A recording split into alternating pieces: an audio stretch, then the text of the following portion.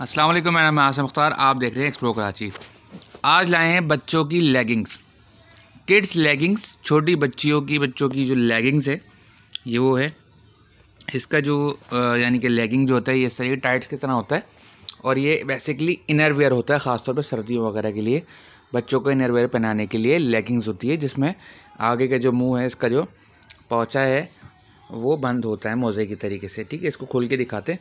रंग बरंग अच्छा खूबसूरत माल है और रेट तो इंतहाई मुनासिब है, जैसे फ्री अच्छा दूसरी बात, जैसे कि आपको मैं अक्सर कहता हूँ कि बच्चों का जो माल होता है, खसूस तौर पर अमूमन बेशतर, वो अच्छा और साफ़ सुथरा निकलता है कुदरती। ठीक है? लंडा में वैसे ये होता है कि लंडा में बच्चों का माल बेहतर होता है। हमारे पास तो ऐसे ही है, बाकी का नहीं पता। तो कुछ बेहतर है, लेकिन इसमें हल्का फुल्का दाग वगैरह आ सकता है, आप देखें। कलरफुल माल है कम से कम कम से कम सौ पीस, हज़ार पीस आप ले सकते हैं। ये चीज़ देखें।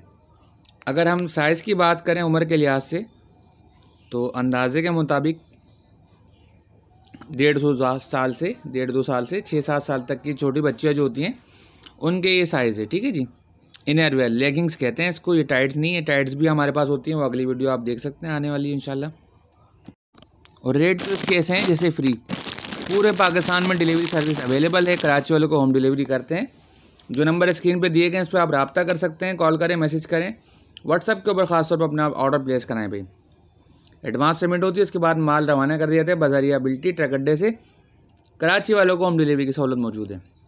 घर पे माल पहुँचा रहे थे जो नंबर दिए गए उन पर ख़ास तौर पर रबता करें। माल अच्छा है, बेहतर है। जो पहले आएगा, वो यही माल पाएगा इन ताला। साफ़ सुथरा अच्छा माल है। मौके पे चौका लगाएँ और फ़ायदा उठाएँ।